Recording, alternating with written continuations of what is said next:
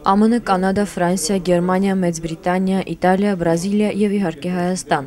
Այս երկրներից ժամանած 5 տասնյակից ավելի հայագետներ նոյեմբերի 7-ից 9 Սանկտ Պետերբուրգում մասնակցել են հայ լեզվաբանության 9-րդ միջազգային գիտաժողովին։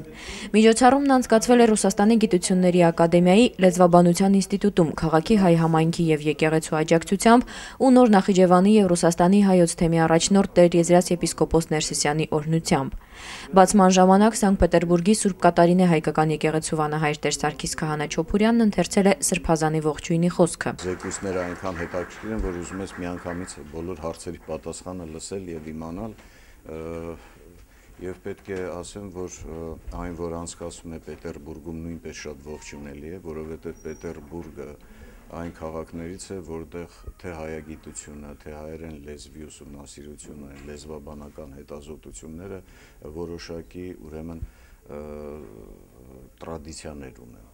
արդեն սկսած Օրբելից, Մարից։ Մասնակիցների համոզմամբ միջոցառման կարևորությունը տարբեր երկրներում եւ հայագիտության տարբեր ասպարեզներում աշխատող մասնագետների միջև կապերի սերտացման մեջ է։ Հայերենի լեզվաբանության մեջ տարբեր ասպարեզներ կան,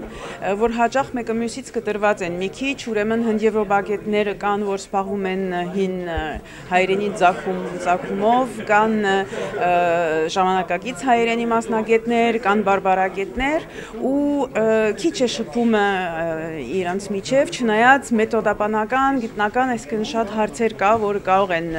միասին լուծվել։ Քարամիա բարբերականությամբ աշխարի տարբեր վայրերում անցկացվող գիտաժողովն այս անգամ Սանկտ Պետերբուրգ տեղափոխել է պատահականություն է, որն այնքան էլ պատահական չէր, կատակում է Ռուսաստանի Գիտությունների Ակադեմիայի Լեզվաբանության ինստիտուտի տնօրենը եւ Պարզաբանում։ Այս հաստատությունը հիմնադրել է ակադեմիկոս Մարը 1921 թվականին, երբ արդեն հրատարակել էր իր գրափարի քերականությունը։ Ценность, безусловно, заключается в том, что раз в четыре года все занимающиеся армянским языком встречаются, обмениваются впечатлениями, обмениваются тем, что издано за это время. А издано много. Э, вот э, только что мы прослушали э, замечательный доклад профессора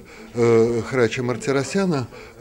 который является автором последнего по времени этимологического словаря армянского языка, которым пользуются все. Գիտաժողովի մասնակիցները նաև այցելել են Սանկտ Պետերբուրգի Սուրբ Կատարինե հայկական եկեղեցի, ծանոթացել համայնքի կյանքին։ Նրանց պատվին համերգով հանդես է եկել հայ առաքելական եկեղեցու մշակութային կենտրոնի ինքից ստեղծված երիտասարդական սիմֆոնիկ նվագախումբը, իսկ գիտաժողովի փակման առիթով համայնքն ընդունելություն է կազմակերպել։ Գոհար Մարտիրոսյան, առաջին լրատվական, Սանկտ Պետերբուրգ։